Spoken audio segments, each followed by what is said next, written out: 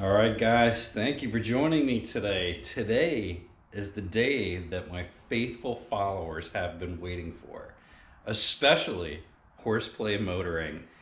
Uh, me and Patrick have been back and forth about this for a while on what I'm gonna do. And today, guys, is the day I'm gonna show you what I'm gonna do. So today is the day that you're finally gonna be seeing the car video. And when I say the car video, I mean the video you guys have been waiting for. I am finally getting another car and it is not gonna be a four door car. It's not a car for my wife. It's not a new truck. It's not gonna be a new boat. We've done all these things already. We're getting another sports car today.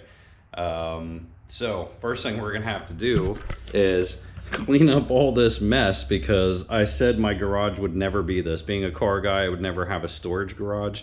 Um, this garage has just turned into complete shit since I haven't had a car. It has been storage for boat stuff and just threw a desk out here and doing miscellaneous projects. Uh, I got the quick jacks out on this bay uh, because I've been working on the uh, Mazda Speed uh, the other week, getting ready to get rid of that. Get rid of that. Um, so we got to get this cleaned up. Uh, the other problem I'm going to show you in a second here is it's been raining for I don't know four days straight and it is obviously still raining. So uh, me and the wife are going to be taking a road trip in the Q50 down to uh, Virginia. We're going down to Vienna, Virginia to go pick up my new vehicle. And unfortunately, because of behind me, you're to see the drive back is probably to be a little dicey and it's to suck a little bit, honestly, because I'm not to be able to open it up. I'm not to be able to enjoy my new car that I've been dreaming about and lusting about for a while. Uh, so that's gonna kind of suck, but we're gonna make the best of it, and uh, we'll get uh, some video on the way down there, and get you some video there, and hopefully you guys approve of uh, what I'm doing and opening up a new journey for the channel. So, like always, I am waiting on my wife. This is the only thing I regret on ever asking her to go with me on road trips. I set an absolute time I want to be out the door. She goes, no problem, I'm going to be ready early. And we are now at that time and she is still in the bathroom, still getting ready. Um, you know, I'm anxious, I'm excited to get on the road. Got a little bit of stomach agita, I'm spending a lot more money than what I wanted to spend.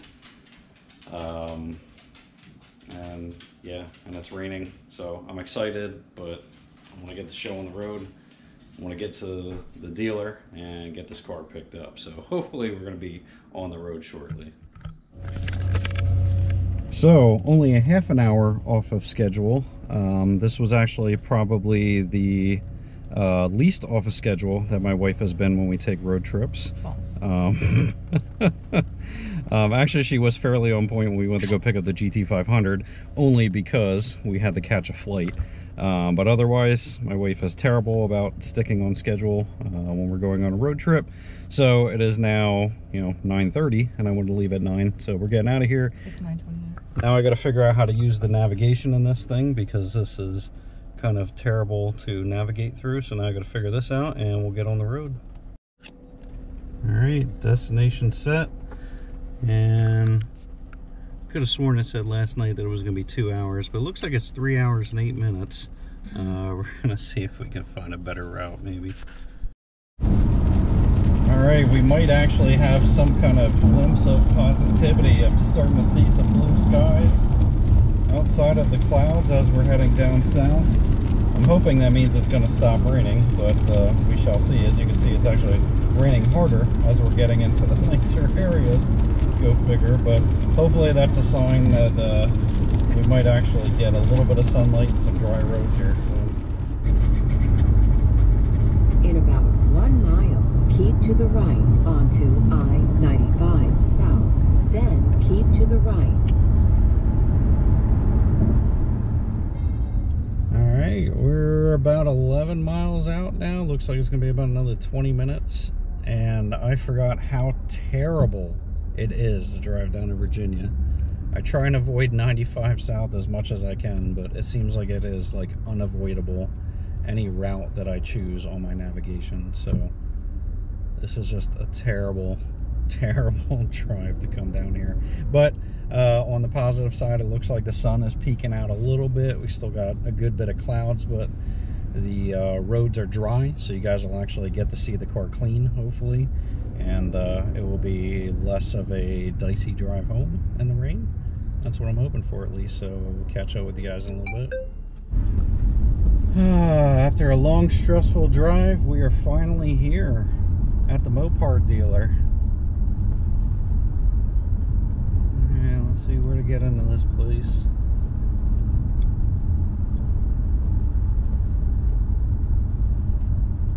You are one tenth of a mile from your destination on the left. Alright, we are here at our destination. Alright, so if you guys haven't figured out yet, we are at a uh, Chevy dealer. Chevy dealer that has many other things, but what could we be looking at here today? Um, I saw the car from the highway and I see it coming up here, so how you doing? Man, look at that reflection in the window.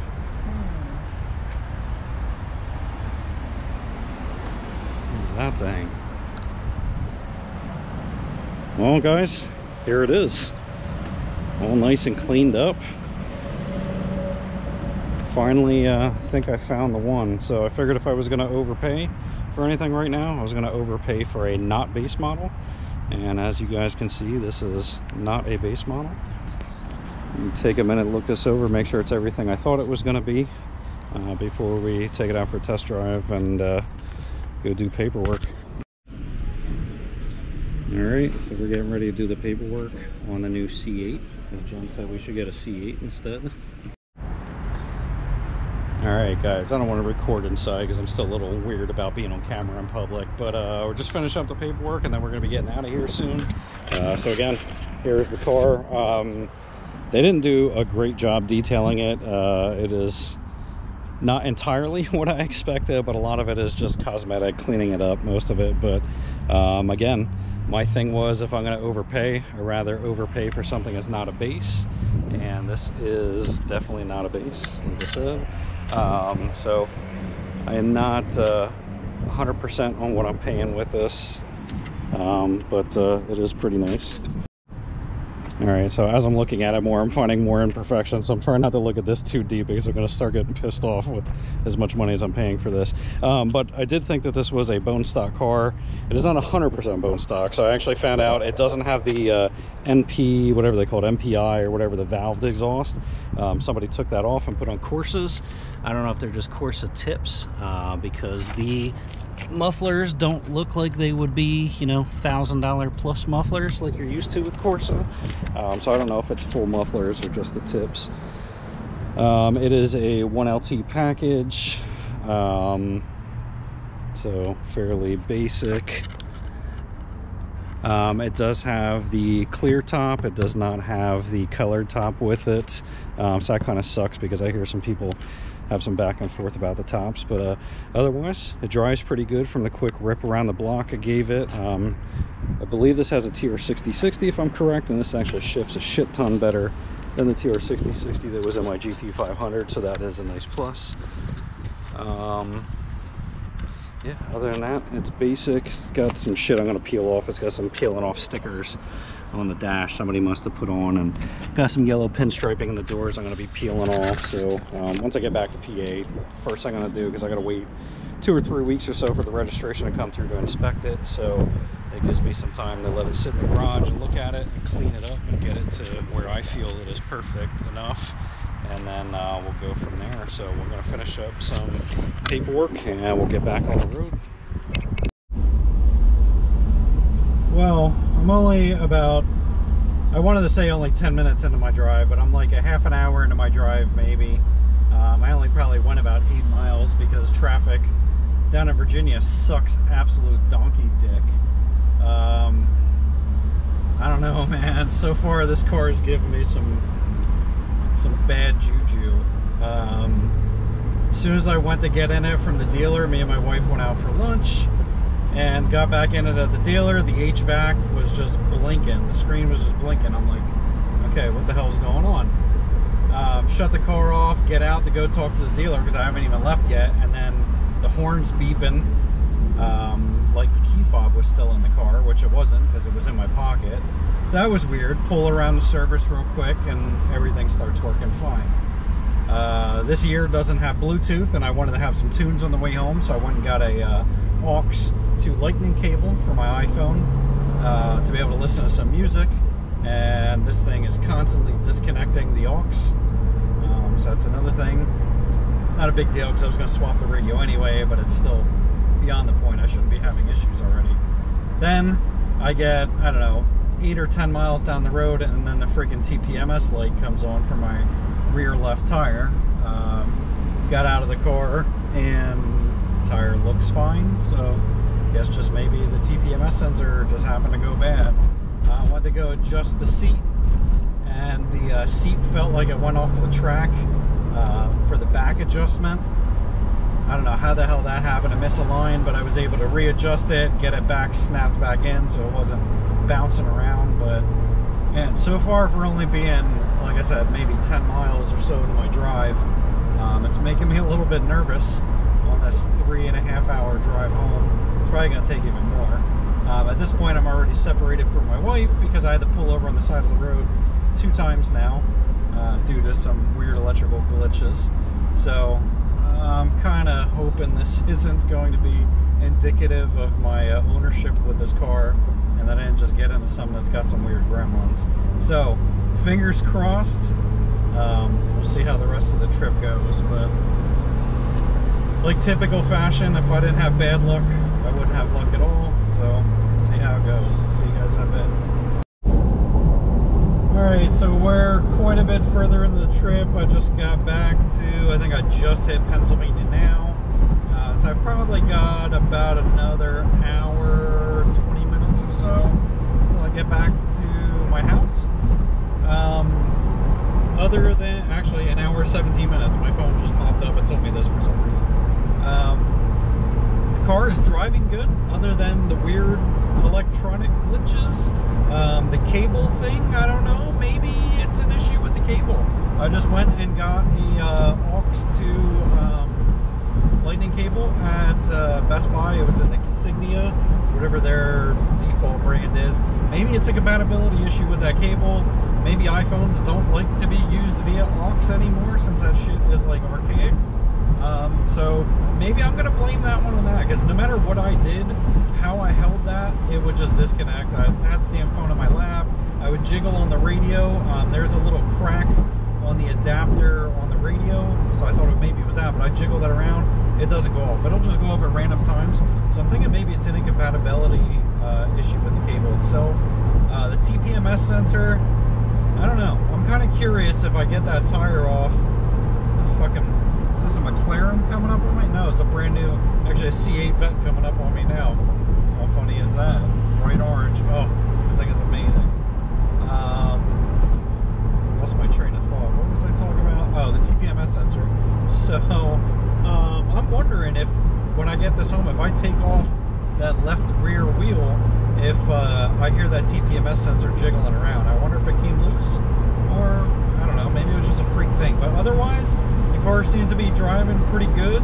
Um, I got a little bit of a little bit of shimmy in the wheel, you know, above 80 miles an hour. Um, so I don't know. I'm just gonna keep an eye on stuff. Um, seems to be doing decently well over rough roads and potholes and shit.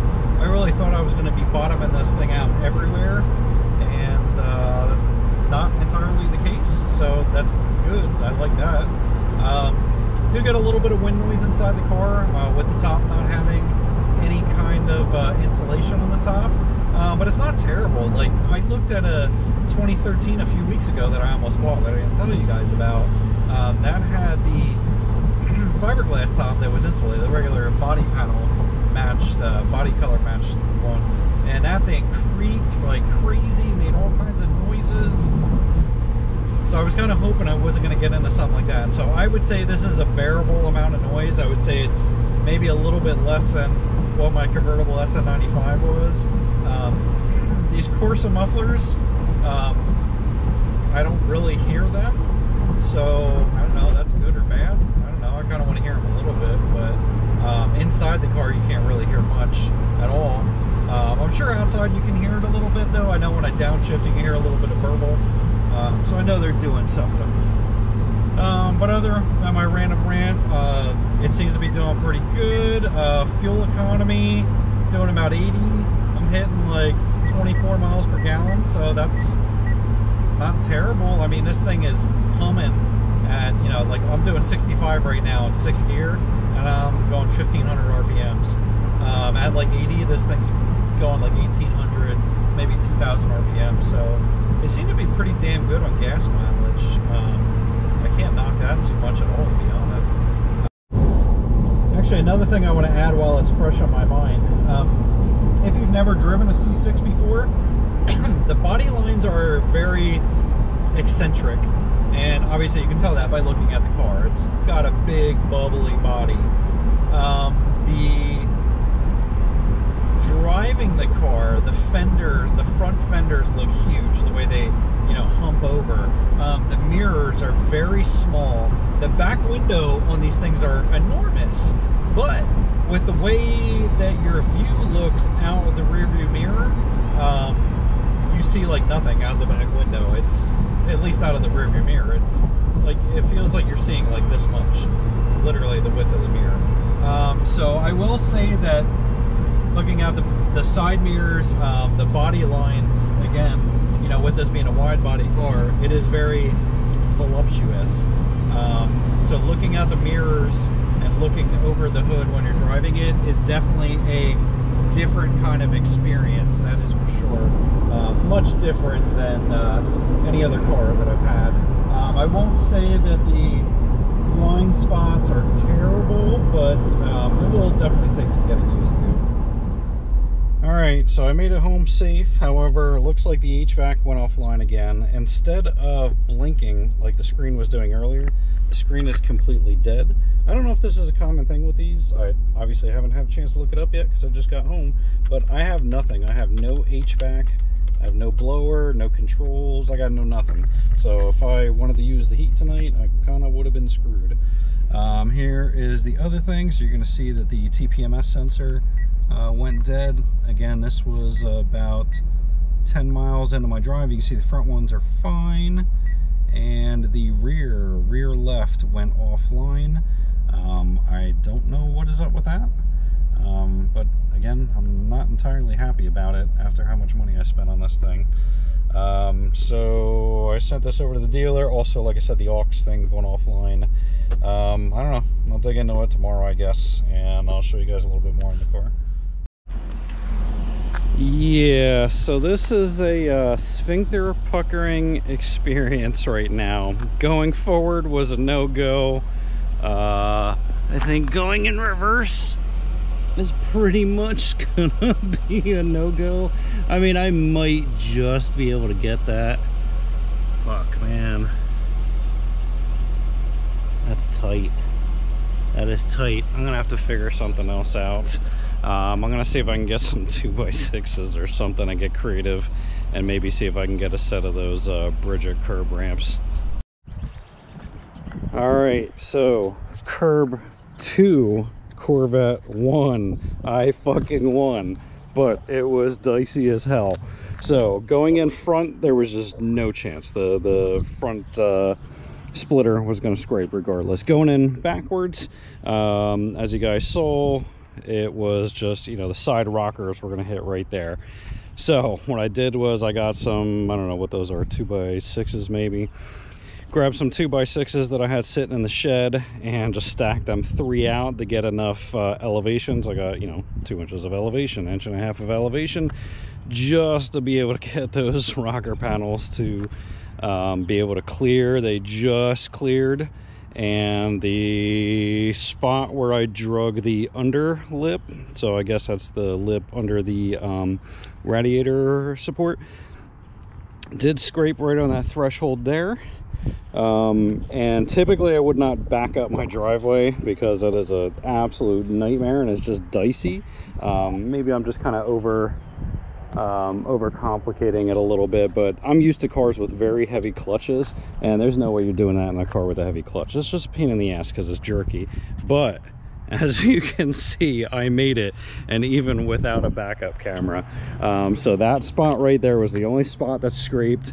Uh, going in through this threshold was actually good. I didn't hear any scraping on that threshold, um, and we got it in the garage. There wasn't too too much jerkiness this car is wide though so it's it was dicey i mean it looks like there's a lot of space but when you're looking at it out the very tiny mirrors and trying to go at an upward uh, angle it it's dicey. Again I, i've never backed into this garage. Um, front fenders you can see are wide but thing is looking at the wide looking at the rear fenders. Um, so i just felt like i had no space. So this will work. If i gotta do it i know i can do it now. Um, i might have to look at some Bridjit ramps. Uh, i gotta do a little bit of research today. That will work but i don't want to have to leave it like that because it looks like shit. Last time i talked to the township they said i couldn't do curb ramps and they would find me and i couldn't keep them out yada yada yada but i, I think i'm just gonna do it. Um, we're gonna see but like i said it is in here. I can start detailing it. Uh, again i'm not really happy about how this thing looks but it is in here. I have decent amount of space left over in the back. I'm, i actually think i have a little bit more space with this than with the gt500 now that i look at it um, it does give a good bit of space. The other reason I don't want to back it in is because I have concrete on this side, so trying to get my fat ass out of the car is a little tough uh, without banging it off of the concrete. So I think I'm going to throw some kind of rubber or something up against that to uh, make that a little bit easier to deal with. Whew. All right, one crisis averted. Now we got to get on to uh, cleaning this thing up a little bit and figuring out uh, figuring out what's what and see if we can get it to the cleanliness level level that I expected and uh, get this thing ready to cruise.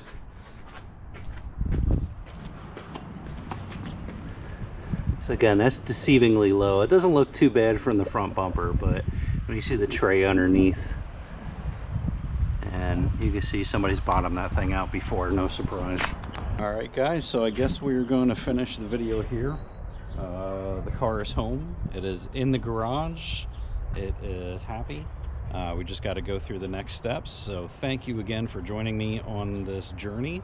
Uh, I hope you guys approve of the purchase. Uh, it wasn't kind of hard to figure out what I was going for. Um, as I told you guys before what I was looking at, uh, I just didn't think it was going to be a grand sport. So uh, again, let me know down in the comments what you guys think, and uh, hopefully look forward to the next set of videos as they go.